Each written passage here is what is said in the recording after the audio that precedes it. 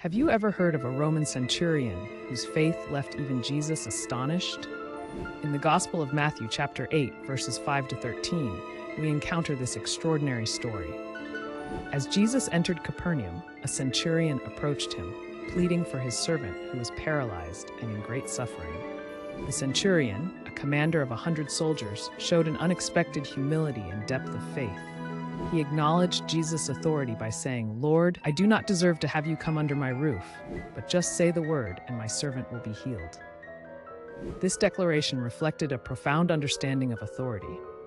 The centurion recognized that just as he had soldiers who obeyed his commands, so too did Jesus have authority over illness and life itself. Jesus marveled at his faith, turning to the crowd and saying, Truly I tell you, I have not found anyone in Israel with such great faith. He then granted the centurion's request, and his servant was healed at that very moment. This story is a powerful testament to faith that transcends cultural boundaries and positions of power.